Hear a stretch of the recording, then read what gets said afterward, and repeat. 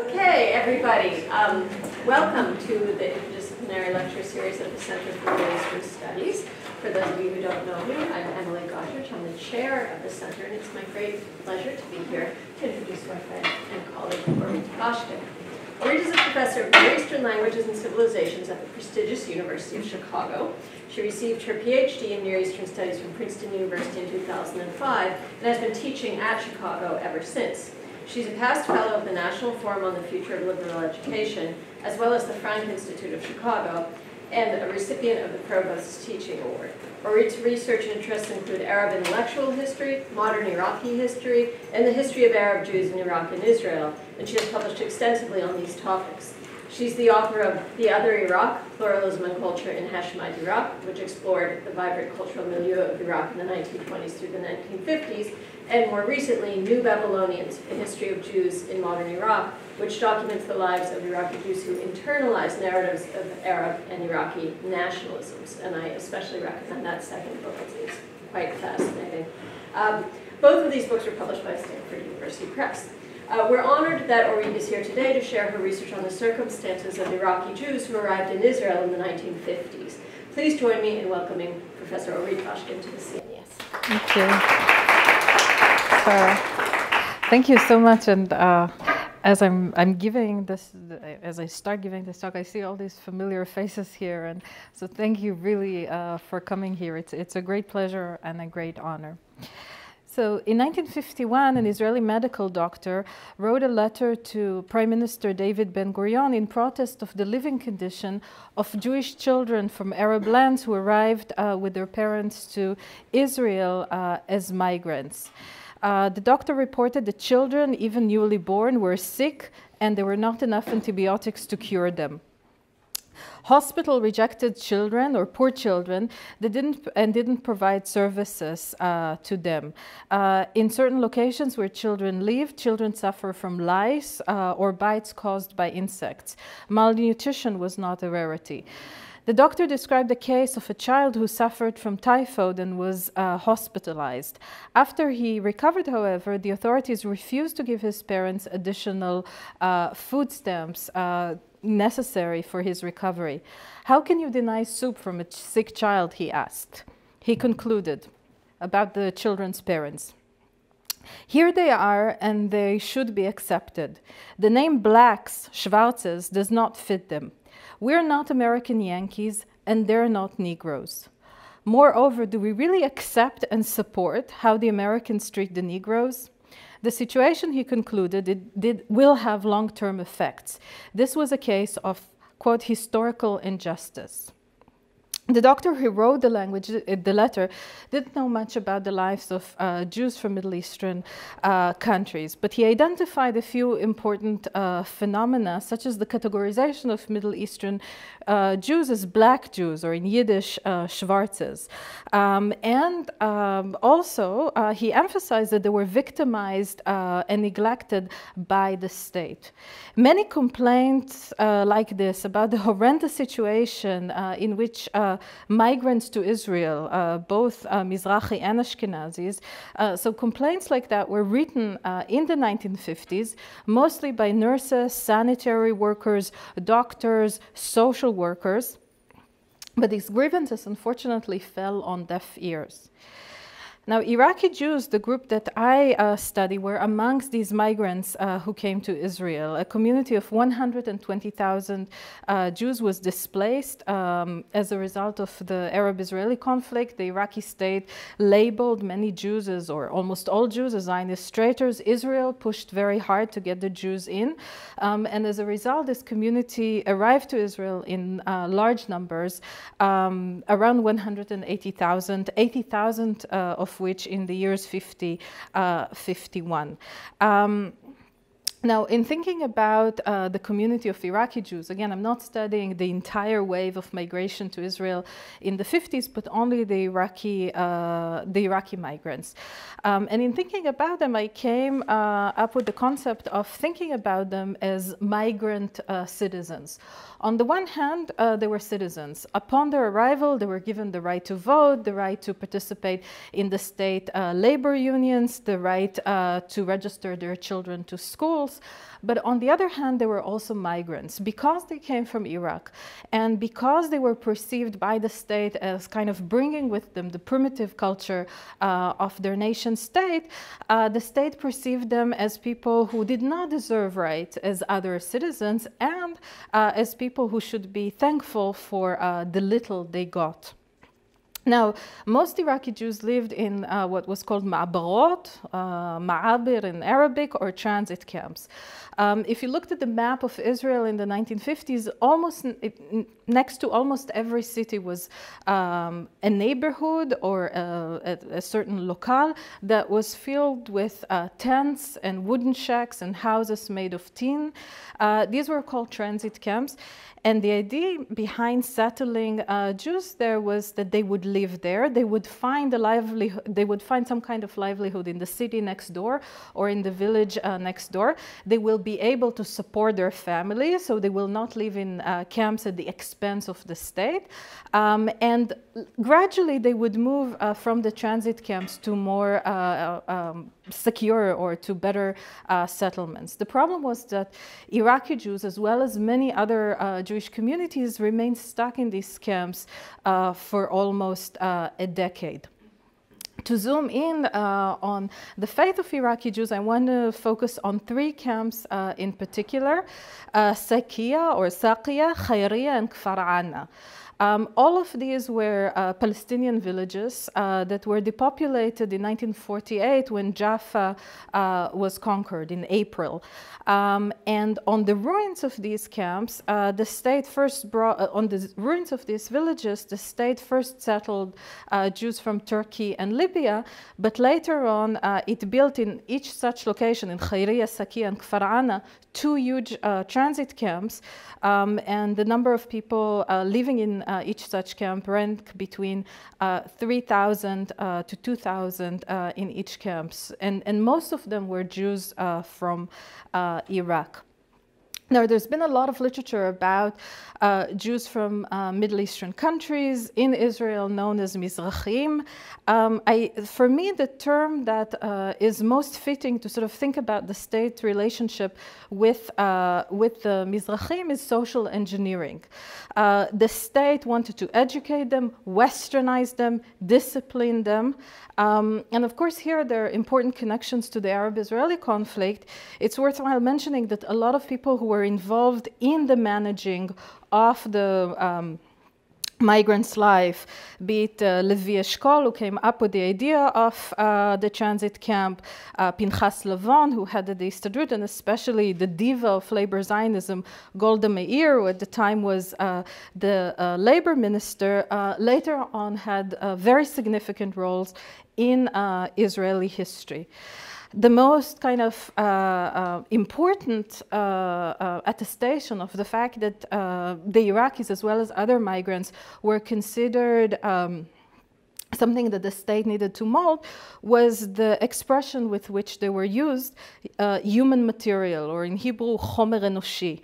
Um, and we find expressions like bad human material, problematic human material, um, and in worst cases, human dust, an expression that was usually used uh, by even by Israel's uh, first prime minister to refer to uh, Holocaust survivors.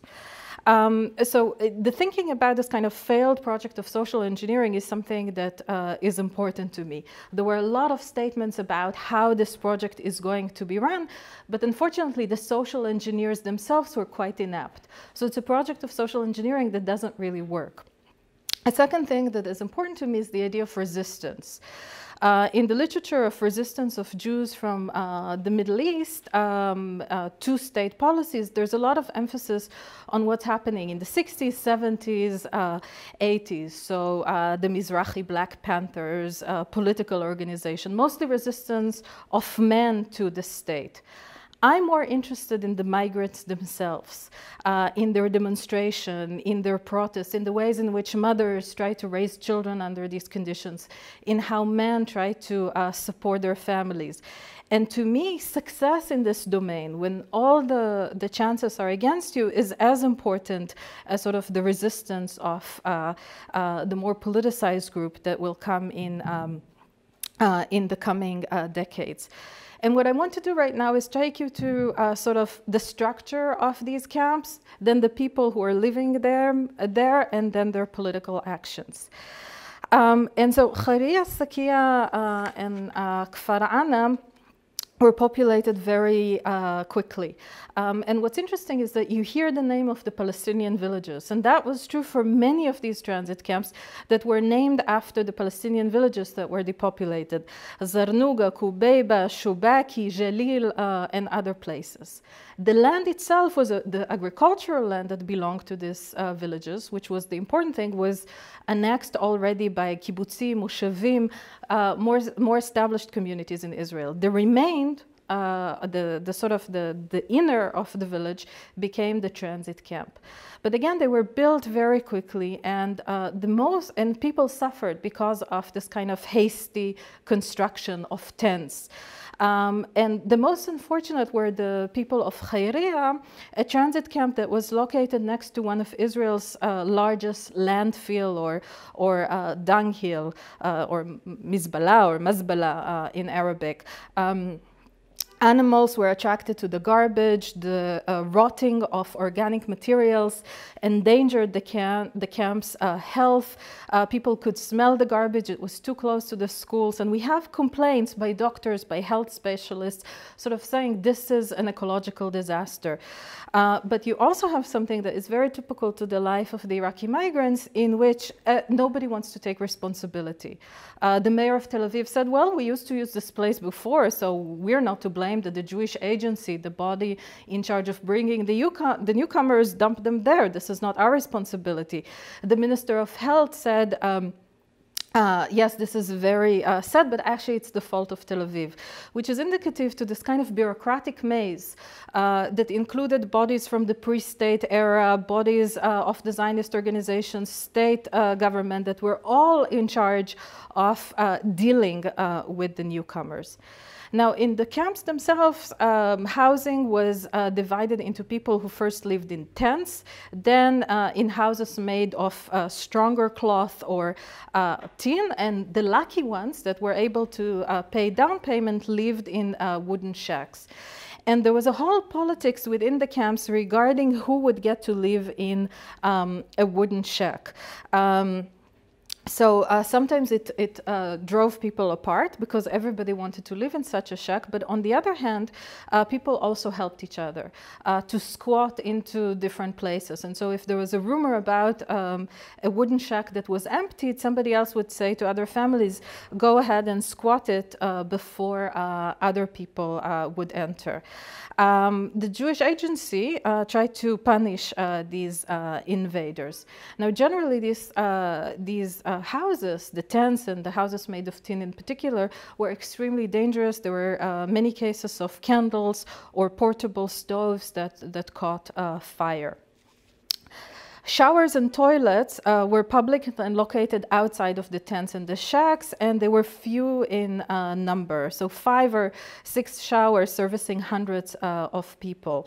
Um, and uh, for women, that was extremely painful because especially women from Arab countries were not used to this kind of institution of public shower. And that seemed uh, shaming to them.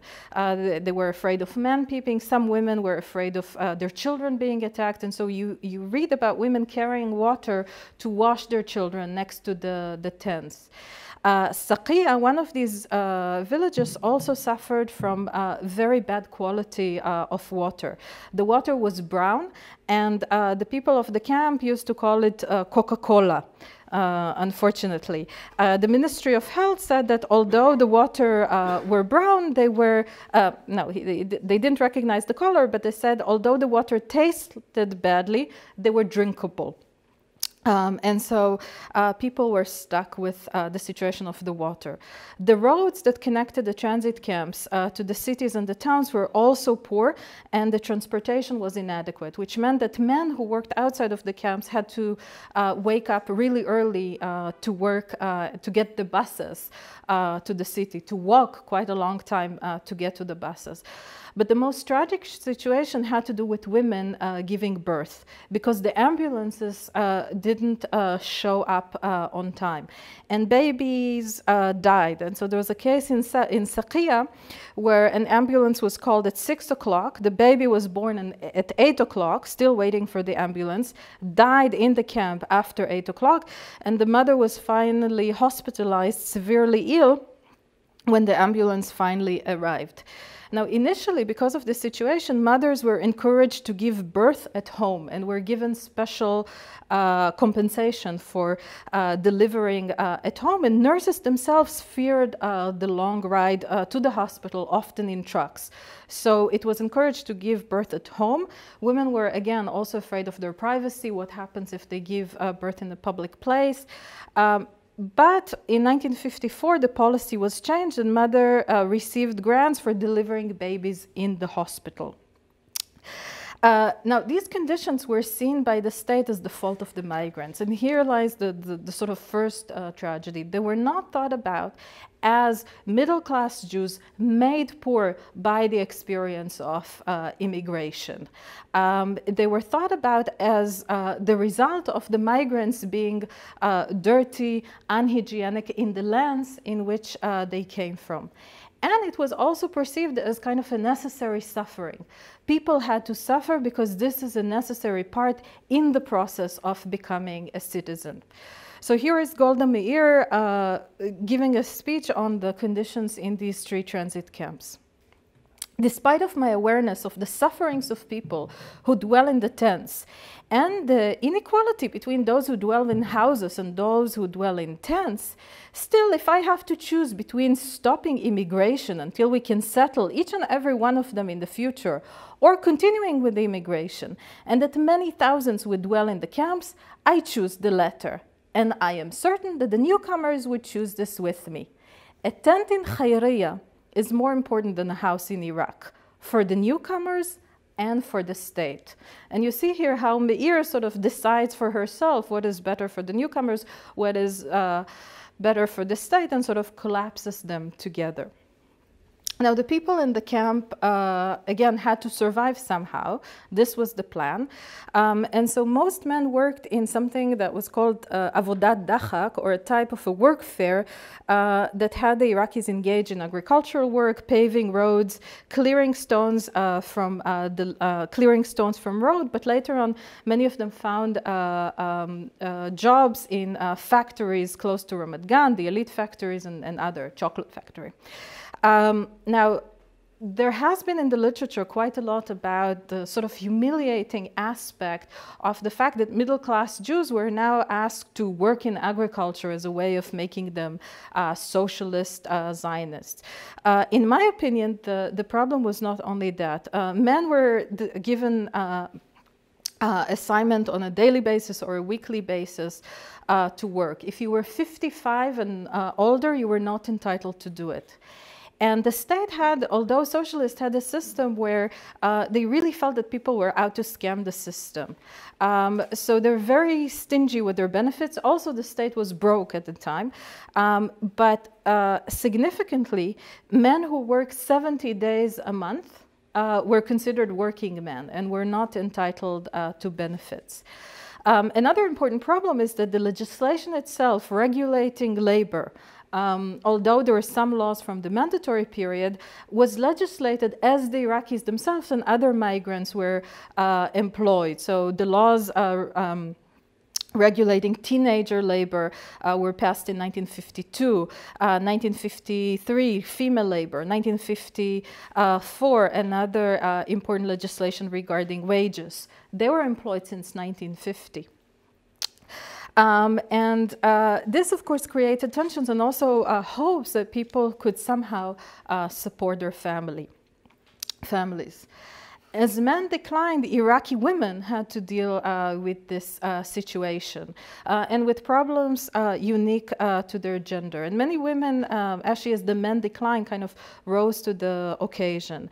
Uh, many also worked with Histadrut organizations of working mothers. But the simplest of house chores became a challenge. Israel at the time was under severe austerity measures, and food was granted through using food stamps or uh, food forms. Uh, there were paraffin cooking stoves or primus in uh, the tents and the shacks, but again, they were dangerous. Uh, because it was difficult to have refrigerators in uh, places where the connection to electricity was problematic at best, um, many people in the transit camps uh, got not uh, food portions, but um, actually powders, milk powders, other powders. It was almost a regime uh, of powders. Now, it's interesting uh, to note that the entire country was under these austerity measures, but people who had relatives in uh, agricultural communities, people who can afford uh, to buy things in the black market could actually overturn these severe legislations and buy meat and other products products. Um, for people who lived in transit camps in poor neighborhoods, this was uh, much more um, uh, difficult. Now, again, the state perceived these women as in need of being educated and disciplined. They didn't think about, you know, women who went to high schools and needed to leave uh, uh, any form of education in Israel to support their family. The idea was that mothers uh, were born this way. They were born poor. And so the state sent uh, nurses to guide mothers uh, how to raise their children. Um, and it was also a form to discipline the mothers. So, for example, uh, this, people used to get care packages which were packages donated by American Jews that included um, sheets and clothes for, uh, for babies. So the nurses in the camps used to divide them up, give some to women, some to other women, the women who behaved, the women whose husband voted for uh, the right political parties. And uh, there was also the assumption that the women had to pay something. So they would learn that you don't get things uh, for free uh, from uh, the state. Um, young women also had to struggle, as I said, to get education. Um, there are interesting accounts about women who visited what was called uh, the Clinic for Psychological Hygiene. Um, they had creative names at the time uh, in Jaffa and Jerusalem about disturbed Iraqi women uh, that attested to the fact that young women that they uh, studied were suffering from depression manifested in, in crying, self pity, suicidal thoughts, um, and read even slightly against um, the very patronizing um, uh, sort of tone of these accounts, you see women that are suffering. They can't find jobs. The jobs that they find are unsatisfying.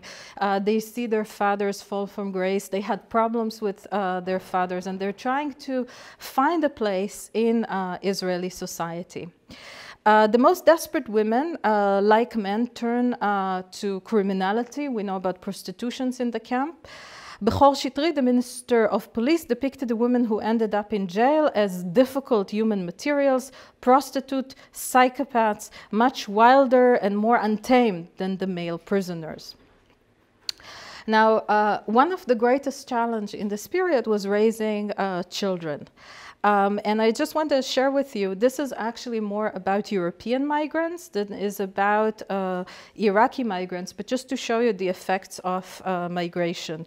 My colleague, my colleague Orit Rosen, not Orit Bashkin, Orit Rosen, uh, provided the following statistics. Uh, in 1947, the infant mortality rate amongst the Jewish community was 29 babies for every thousand children. In 1949, when the waves begin to come from Europe and from some Arab countries, the number rose to 51.71 per thousand. The breakdown is important, however. In the kibbutzim, uh, in the agricultural communities, the establishment, the ratio was 60, 16.5 uh, per thousand, whereas amongst the newcomers, it was 157 per thousand. And in 51 and 52, the, the numbers actually decreased, uh, but that's just about um, giving uh, birth. Now, it was difficult to uh, um, dress the babies, also to find uh, where to put them in tents and in shacks. Uh, people were usually give one or two uh, particular kinds of uh, beds, and, and doctors report about children in boxes, cradle made of baskets, sacks, um, um, uh, wooden boxes um, and other uh, materials. Um, schools were also uh, a challenge, and the level of the school in the in the transit camps was not uh, good. Uh, people studied in wooden shacks. In Saqiya, the maintenance of the school was difficult uh, for teacher. The school had no lighting. They were using uh, oil uh, lanterns. The school had no chairs. Children sat on the floor, um, and you see it in um, accounts of um, the Histadrut, the state's chief labor organization, um, where supervisors are sent to these uh, schools. And they write about the fact that it's cold in these shacks. So children are sitting uh, with their coats on, um, or the children are playing outside, neglected. Nobody pays attention uh, to them. Uh, the state, however, uh, invested in youth organizations that were very successful in the transit camps, in Hebrew guides, in youth guides, and also uh, in the holidays um, in the Independence Day and also the Israeli holiday of Tu B'Shvat, uh, which is the sort of holiday of trees. Um, and it was in a way very sinister because on that particular holiday, the children got a bag with fruits in it. And it was told that this was a gift from the committee who ran the transit camp. So the national holiday was connected uh, with something that the children um, needed, uh, which was food. Um, now, um, sometimes you also see that the children in the school are organizing in different ways. So in Khayriya, for example, the students protested when the janitor was fired and didn't want to attend classes. Um, but um, what you do find in Khayriya, Saqiya, and Kfar is actually the Iraqi teachers themselves. And there was a very flourishing education system in Iraq organizing together using boxes and, and wooden materials as, as chairs and tables and trying to teach the children uh, themselves. Later on, the state actually uh, employed uh, uh these teachers, also in Palestinian schools.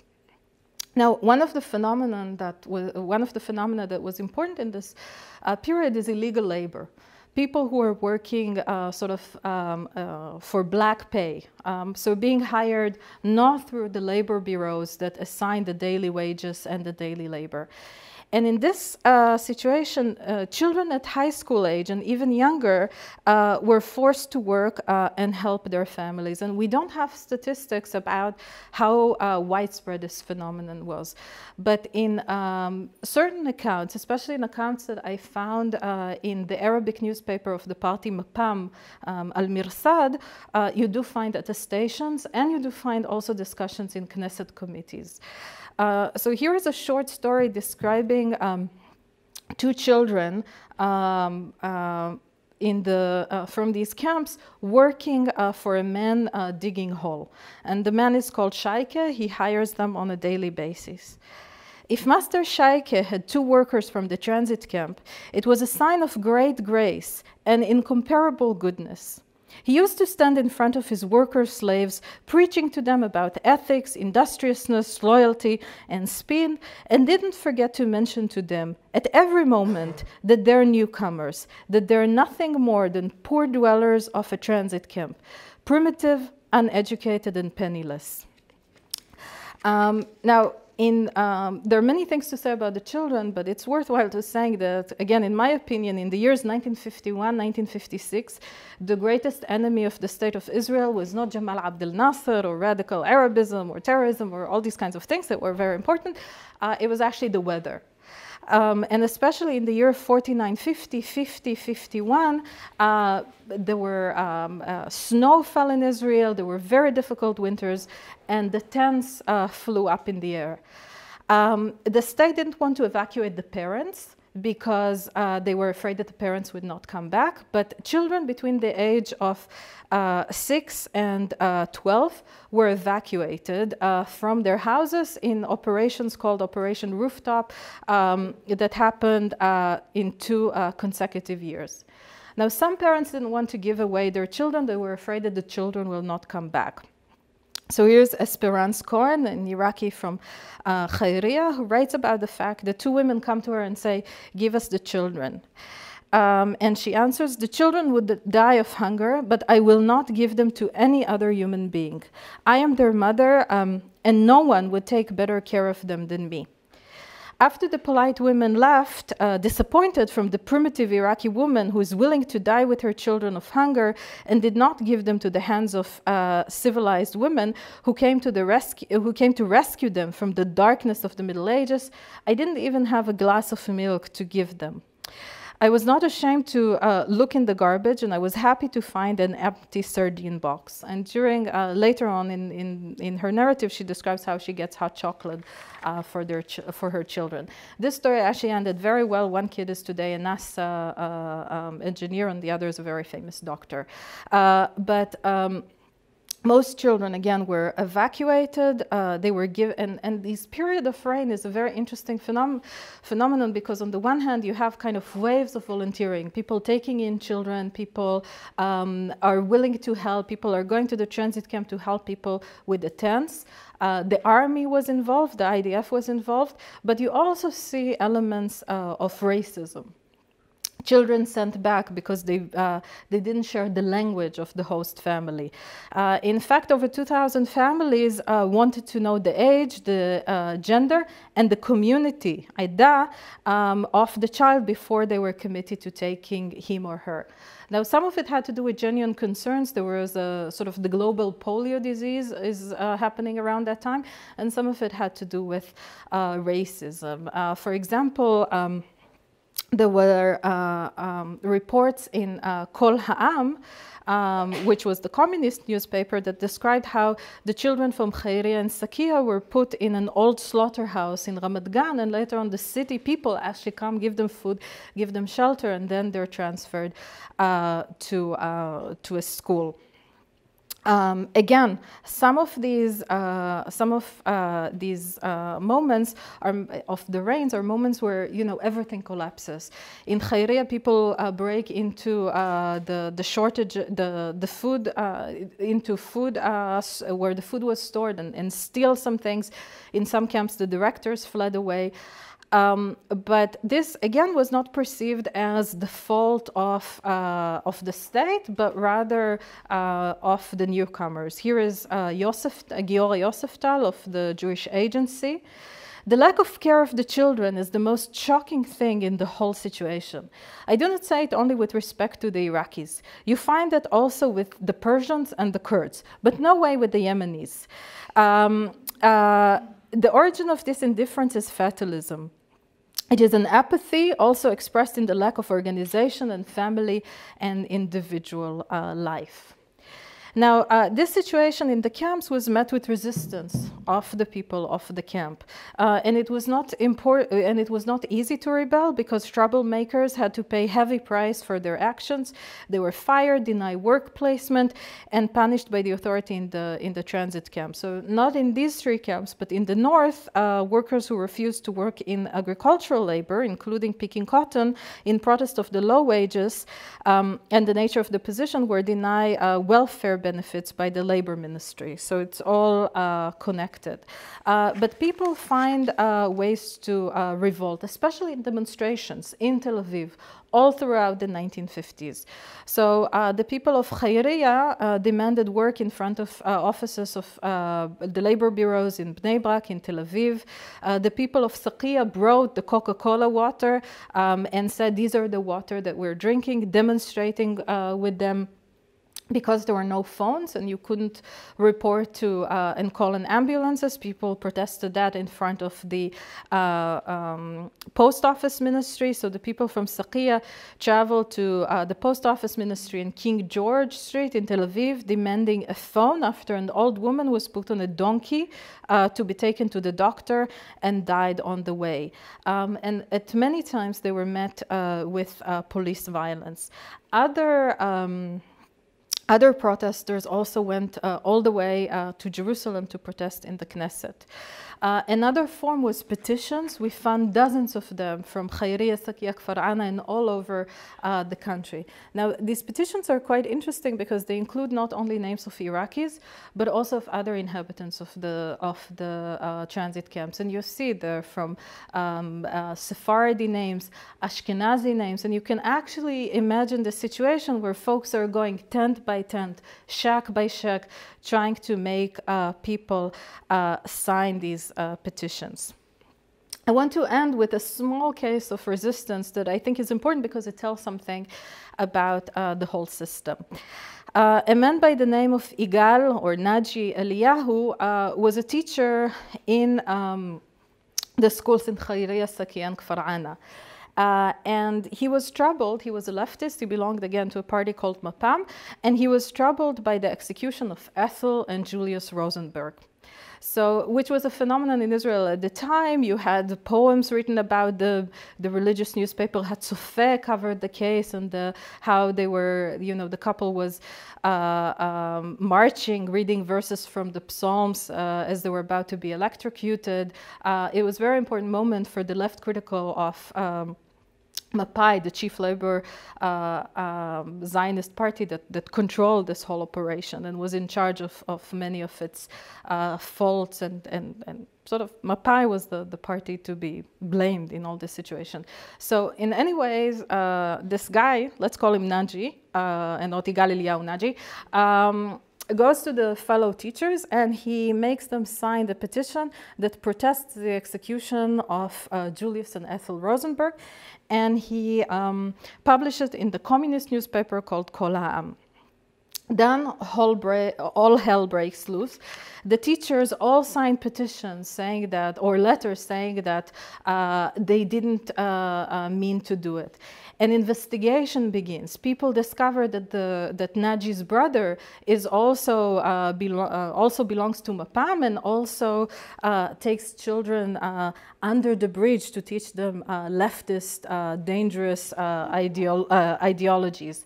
Later on, Eliyahu is called to be investigated in the Ministry of Education, uh, where, he, uh, where he says in his defense, you know, but also the Pope said that, uh, and, and Albert Einstein says that, you know, you shouldn't execute these guys. And he's, and he's being told, uh, very cynically, yes, but uh, Albert Einstein and uh, the Pope um, did not publish their protests in the newspapers of the Israeli left.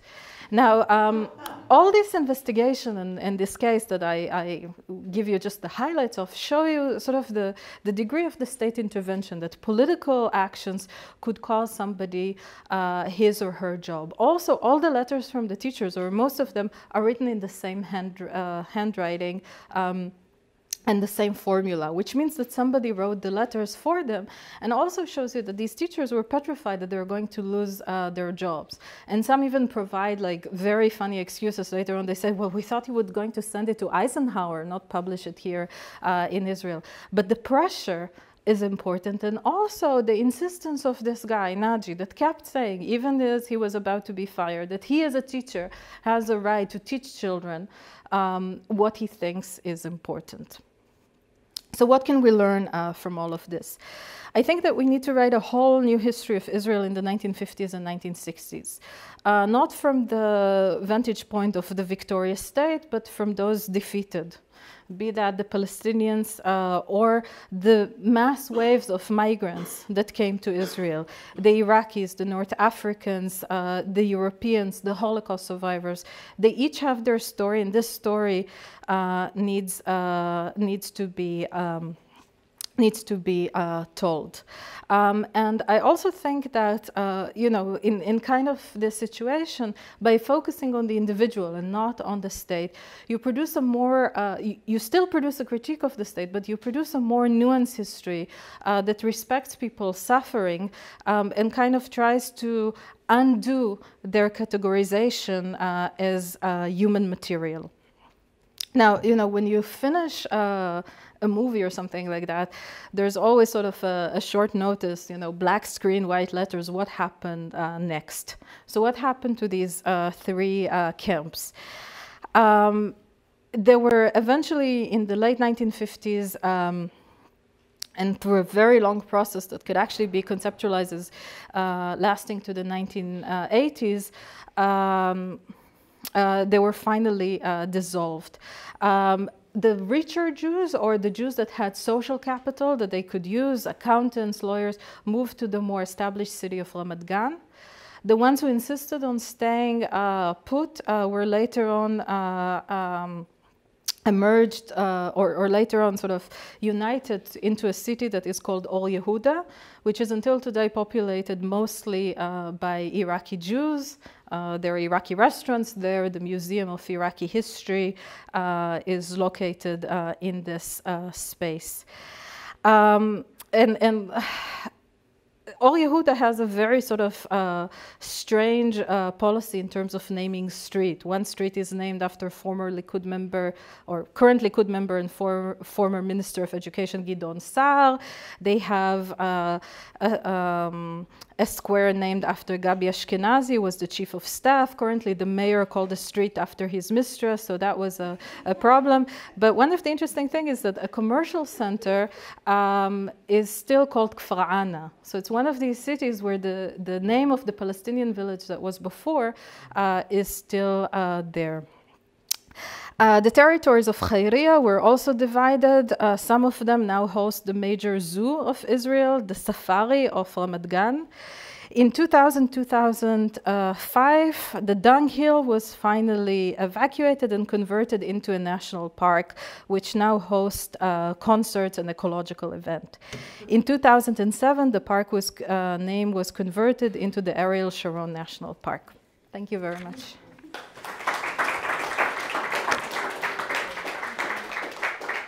Yeah. I think it's very relevant today. Yeah.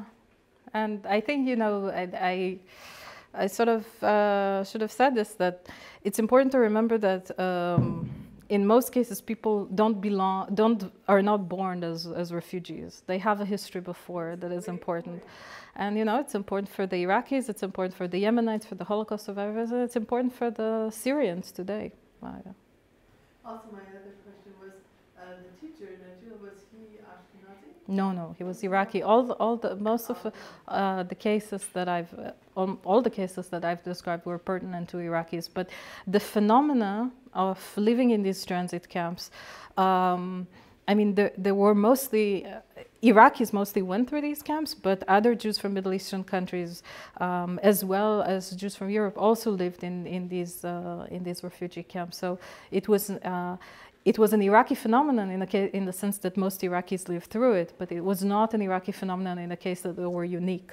Um, I should say, though, that um, the experience with Iraqis um, later on uh, determined certain policies with respect to uh, other uh, individuals. So because the Iraqis didn't want to move to the Negev or to the south or to the north um, and, and said we will live in our tents and in our wooden shacks, but as long as we live in a place where we can find a livelihood, uh, the state later on decided that this is a, a, very bad behavior. So when the North African came in the 60s and late 50s, they were immediately sent to the periphery. Uh, and, and some of them were even made to sign documents saying, we agree to work in agricultural labor. So, so that was uh, a, a sort of one way of kind of teaches the, uh, the, the administration, teaches uh, how to behave with the next way. Yes? Oh, uh, thank you for the interesting talk. Um, what I was wondering is, uh, since you talk about how the state deals with the so-called black Jews, uh, the mm-hmm. Arab Jews, parallel to that, how does the discourse then, or the treatment of the Arab Israel, Arab Israelis, well, the Arabs living on what was officially Israeli territory, how, I mean, similar was that, how related were the practices applied to Iraqis the same or not the same? I was just waiting to the friend. Yeah, I, I figured, I figured. Palestinians or Iraqis. But uh, the, this is a great question. And so um, the Palestinians at the time were under a different regime, which was a military regime, uh, which severely curtailed uh, their, uh, their movement rights, uh, their rights to own labor, and some of the even sort of meager uh, or some of the, these kind of the right to demonstrate that these poor Jews had was not uh, was not respected with respect to the uh, to the Palestinians. They could not demonstrate in Tel Aviv and in Jerusalem. Um, now, in, in terms of the relationship between the communities, the, the struggles are separated at times. But there's one space where the struggles are actually united, and that's the Israeli Communist Party. Um, Iraqi Jews join the Communist Party, they write in its journals. Emil Habibi, one of their chief uh, politicians and intellectuals, go to the transit goes to the transit camps, give, uh, give speeches. And so you have a very interesting moment where um, you know, there's this kind of Arab-Jewish collaboration. On the other hand, the state was very, uh, and by the state I should say Mapai, uh, the governing body, was very, uh, the governing party, was very sinister in how it pitted one population against the other. Um, and so later on, in, um, you know, Iraqis were um, drafted, uh, or not drafted, but worked in intelligence units, uh, in security apparatus, and especially um, as teachers uh, in Palestinian schools because they were safe. They weren't Nasserites. They, uh, they knew uh, um, Arabic uh, very well from Iraq. Um, and also the state used uh, Iraqi Jews and also Egyptian Jews in its propaganda bureaucracy. So um, um, each part, uh, each political party at the time had a newspaper in Arabic that was meant for what was called the Arab Israelis and for the new migrants. This was almost uh, exclusively an Iraqi venture, with uh, uh with each party having uh, such a newspaper. Even Kherut, the, the mother of Likud uh, that we enjoy today, um, had a, a, newspaper called Al Hurriya. Uh, that was written in Arabic by uh, Iraqi Jews. Uh, there were newspapers of the Histadrut. Um, Iraqis were also in the Istadrut Arab division. So it's a very interesting uh, way of creating hierarchies. So Esperance Cohen, whom I described, you know, not giving her babies away, later on she works in the in the Istadrut with Arab women, and she writes about how she goes to, to educate the primitive Arab women and not uh, sort of uh, figuring out the, the irony there. Um, so, but on the other hand, we see also collaboration, you know, in terms of like uh, buying groceries on, on sort of daily interaction between uh, these, uh, between uh, Middle Eastern migrants and Palestinians. So there's one case that I like where there's like, um, a group that smuggles things. I, I, can't remember if it's from Jordan or from the north, but it's like a, a whole beautiful collaboration of Palestinians and Kurdish Jew and a Yemenite rabbi, I think, and they're all kind of working together. Uh, so that is also true. But I'm not sure about the details, so uh, I, am not making this up, but I need to check the details. yes, Mada?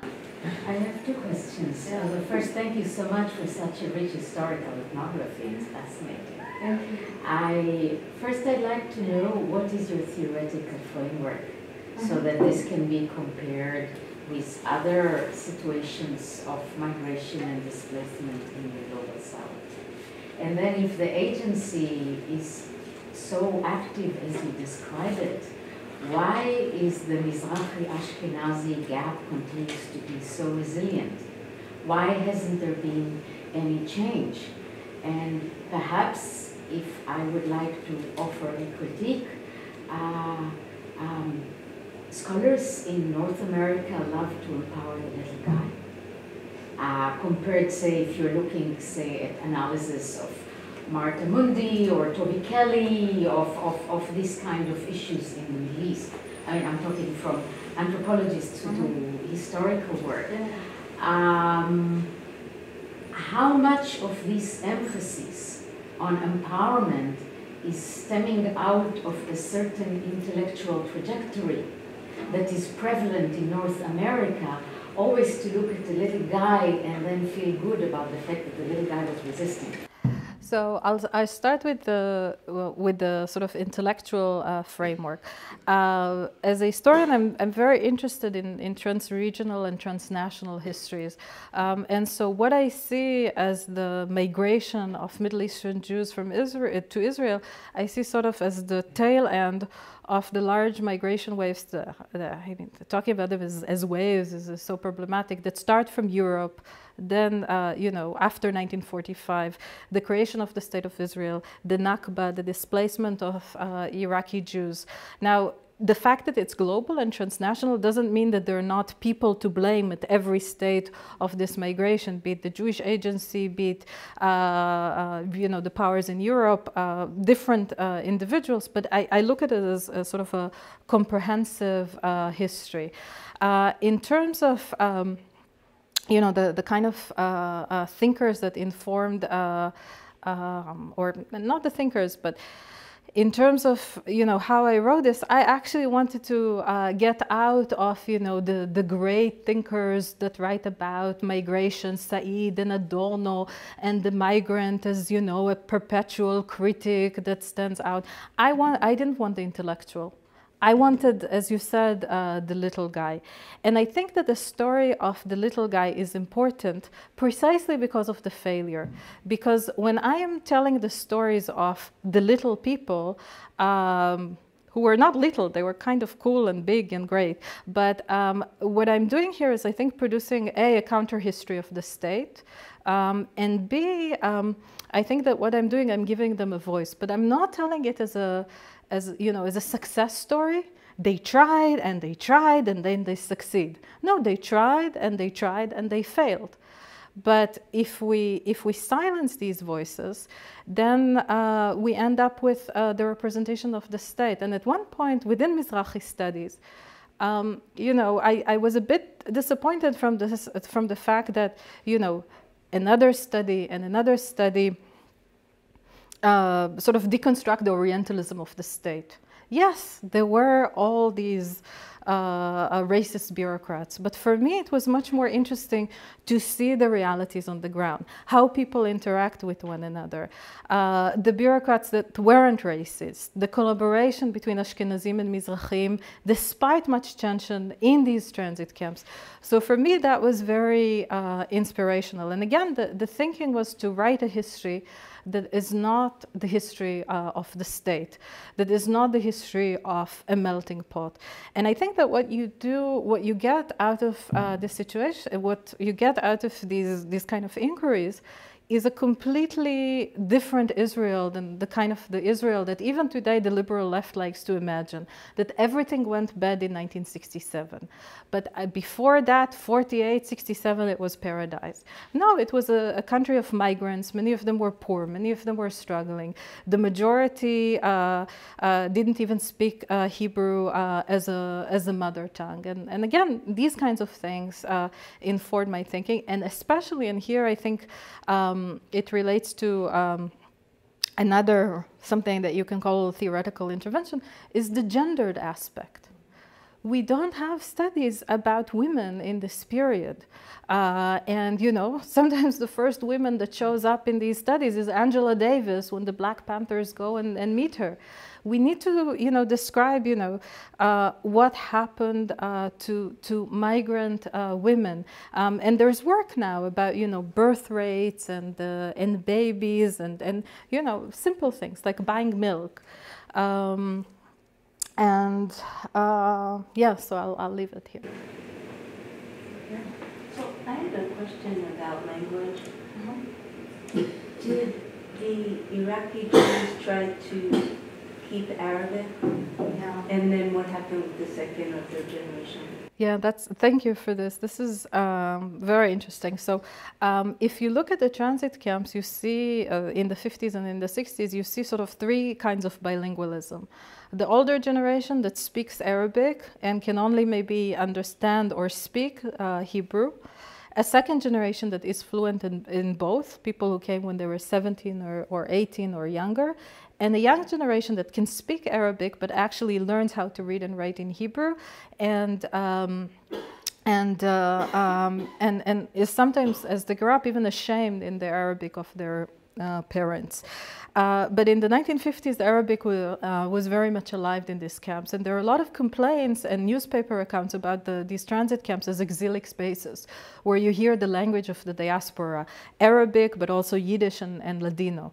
Um, and uh, but from these accounts and from these complaints, you see that you know in the local cafe, uh, people listen to Radio Damascus and Radio Cairo. Um, that uh, and and you see the recognition of the significance of Arabic also in electoral campaigns.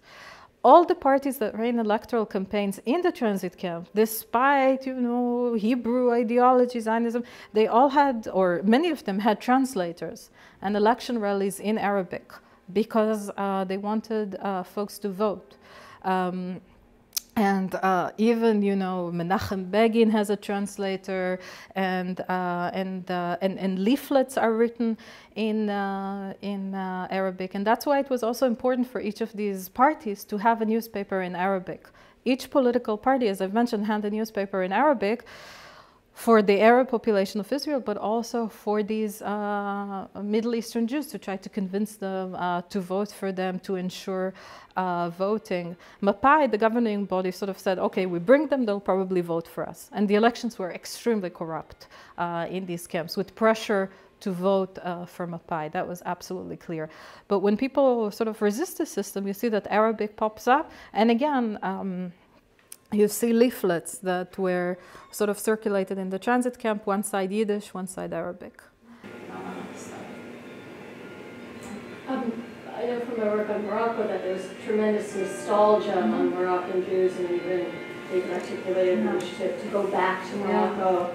Um, and you know, that kind of sometimes with rose tinted glasses, but I'm wondering, I mean, in general, people say Iraqi Jews didn't feel like that, but I'm wondering if you, if you came across instances of them saying, we want to go back, it was better there, or or did that, and did any go back, or was that or just Yeah, so so here, that, uh, thank you again. Uh, these are great questions. So there were um, Iraqi Jews. There were uh, you know reports about people wanting to come back, uh, to go back. But first, there was a state of war, and second, it was very difficult to get a passport, almost impossible in certain cases. Um, and where would they migrate uh, to? Now, Iraq sort of uh, got to this uh, recognition that uh, uh, people need to go back only in the 1970s. And I have a, a wonderful colleague, Bryan Roby, who just published a, a, book on this demonstration in the in the transit camps, and now he's and, and in Israel in general. Um, and now he's doing a project on those who came back. And actually, in Morocco, it was much more prominent because the king actually wanted that, and more came back. Um, having said that, Iraq is a site of nostalgia. Uh, is definitely uh, there. Uh, people miss their homes, people miss their houses. Uh, there is a song in Arabic that says, uh, you know, that Iraqis used to sing. Uh, it's called Esh Sawet Ben Gurion. What have you done, Ben Gurion? And it says, you know, we wished we rode donkeys here so we wouldn't get uh, uh, to this place. So Iraq, in a sense, became like a, a, a promised land for the, the first uh, generation. Um, and here I think there is a, um, a difference from the, the Ashkenazi communities that, that, you know experienced the Holocaust. Um, for the Iraqis, that there was a sense that they could, that maybe they could go back. The famous case of sort of nostalgia to Iraq and also an actual attempt to go back is Samir Naqqash, the writer who um, uh, continues writing in Arabic, and he tries to escape the border uh, to Lebanon and he's caught by the Lebanese authority with a cousin of his, and apparently they're very sympathetic to him, but they ship him back to Israel. Um, he's arrested in Tiberias. He's then uh, released, but you know he continued writing in the Iraqi dialect um, until he died about Iraq. Hi, um, thank you for the lecture. I had a couple questions. You said at one point that um, 1951 was this it was this year in which it, um, Iraq labeled the, the thousands of Jews living there as uh, Zionist traitors. But you also said that Israel was eager to have them brought in. And I was wondering why, was it because of labor shortages? Why did they want to settle these Iraqi Jews only to have them, you know, settled in these terrible transit camps? And um, and you, you also mentioned austerities, and I have just a general question about who was placing austerities on Israel between this period of 1951 to 56. And I mean, you could point to that to account for the treatment of these Iraqi Jews, among other factors. But then, what? How do you explain the treatment of, for example, Ethiopian Jews today, when Israel is no longer under such severe austerity measures? So. Um, thanks again. Uh, I'll, I'll start with um, uh, sort of the reasons that brought Iraqi Jews to Israel. So this is a very sort of complicated uh, story, and I've, I've written about it. But essentially, after 1948, during the war in 1948, Iraq uh, sort of declared a military regime, um, and uh, um, it sort of wanted to combat Zionism. Uh, but in its uh, attempts to combat Zionism and making sure that every Jew is not a Zionist, they actually unleashed a very undemocratic campaign against the Jewish population of Iraq. 700 Jews were fired for government positions. Uh, uh there was a crackdown on uh, Zionist and, and, communist organizations that were equated together, although the, the communists were anti-Zionists. Uh, and um, there were arrests of people under the charges of Zionism. Some were indeed Zionists, other, you know, were arrested because they wrote letters to relatives in uh, Israel or even in mandatory Palestine, or uh, they uh, they bought property when Zionism was still legal in Iraq in the 1920s. So, on the part of the state, that singled out to Jews that you know we're here second-class citizens. Now, Israel, on the other hand, in uh, sort of uh, used it for its own propaganda campaigns and sort of said, you know, look how these Jews are persecuted. And at one point, the, there is a recognition that they're in danger. Um, and there's a very interesting uh, dialogue between Shlomo Hillel, who was a chief Zionist there, and um, Levi Eshkol, and and uh, and uh, Eshkol tells him, you know, tell your Jews to come slowly. Don't let them rush. We don't have any place to put them. So there are these kind of uh, contradictory uh, discourses and practices where there's a lot of fear from these Jews because they're Arabs, because they're like the Arabs, because they're communist, because they're not uh, Zionist, but on the other hand, an urgency to bring them to create a demographic balance with uh, with the Palestinians. That was a, a, major concern. That's why also under these severe conditions of poverty, uh, people were still encouraged to have many children. Um, and so these are very complicated um, realities. And of course, after the the, Jews lose their property because the Iraqi state uh, passes a law that uh, uh, uh, freezes all their assets. Um, Israel doesn't want to deal with it directly, and it's actually become connected to the question of Palestinian property. Um, and my colleague Yehuda Shenhav has even suggested that uh, sort of the thinking that if the Iraqi lose their property and the Palestinian lose their property uh, was something that motivated people even before the law was actually legislated. Now, the situation of poverty um, is extremely important because, um, and the state lack of uh, measures to support uh, the Jews. Um, so basically, if, I remember I gave this talk in a, a different talk, but in, in, a, in, a, in an event where um, the, uh, the Israeli consul was, was there. This is recorded, but never mind, I'll. So uh, he immediately raised his hand and said, you know, this is a country that just emerged from uh, the 48 war. 1% of the population was killed. Uh, there were no funds, especially before the reparation from Germany came. So the state was poor, it was bankrupt, so mistakes were made. These are mistakes. This is not part of a well orchestrated plan. Um, and again, what I'm trying to show is that you know some of the, of these conditions, blaming people for their poverty created by the state, uh, the callousness, the the cruelty, uh, the idea that folks are human material that needs to be that needs to vote for the right party. This is not just conditions of poverty that there's something uh, else uh, at stake here. Uh, as for the austerity measures, so those were imposed on Israel by Israel itself because the country was poor. Um, and the, ra the ratios of uh, what a family should eat were actually devised by an American uh, specialist, I think. Um, and um, and later on, this was implemented. Now, this idea of food measures and how people get food and buy food, and again, there has been work on that by other scholars, is a prominent thing uh, in Israel of the 1950s. When people took buses, there were inspectors going on buses, making sure that people didn't hide eggs or chickens or things like that uh, that they bought uh, at the at the black market. Um, and and actually, the the ratios and the austerity measures, these were political political issues. The General Zionist, another party, talked about them. Um, it was uh, how the Hebrew housewife deal with this situation. This was something that was important. Now, again, for um, the folks in the transit camps, they didn't even get milk. They got milk powder. Uh, so, you know, so that was, um, that was an issue.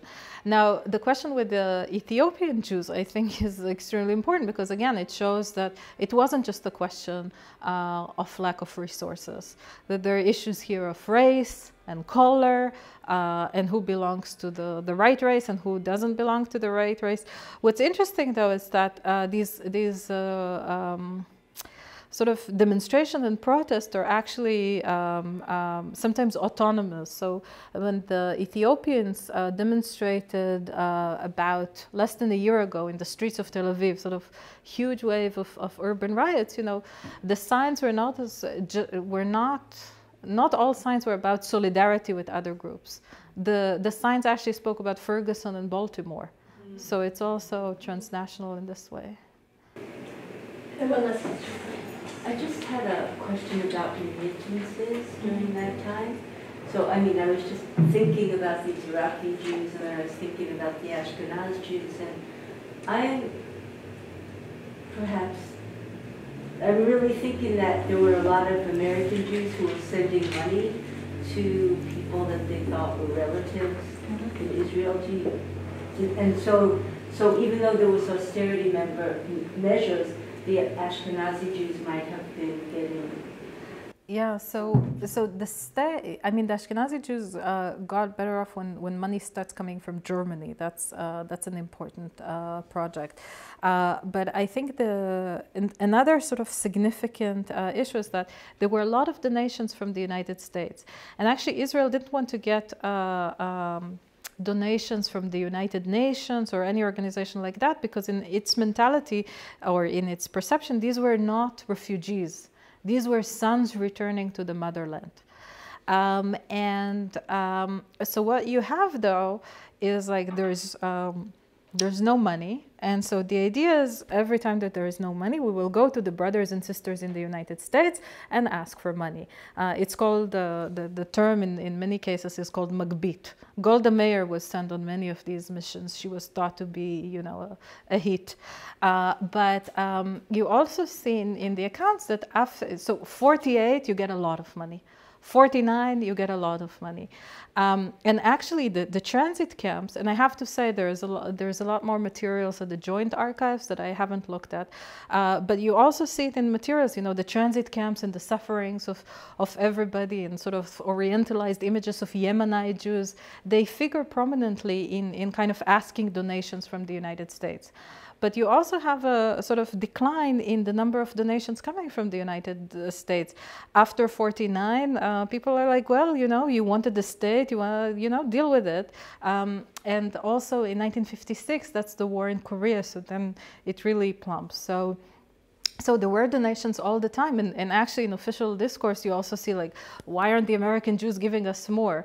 Uh, so the perception of you know american jews as kind of the, the cash box and we'll go and we'll have this fundraising and the good brothers and sisters will give. It's always less than what people uh, anticipate but maybe that's the nature of uh, so, fundraising. So, so I, I got that and, and I, I that was what I expected, but the one-on-one giving, you're not. So I don't, I don't think so. I think that uh, that the donations were, from what I know, were delivered uh, by uh, the state. I mean, you do have, you know, kind of in autobiographies, you know, of Ashkenazi Jews, like, you know, the uncle from America or the aunt from America who send a package or who shows up or, or helps. So those family relationships, uh, definitely. Well, thank you very much.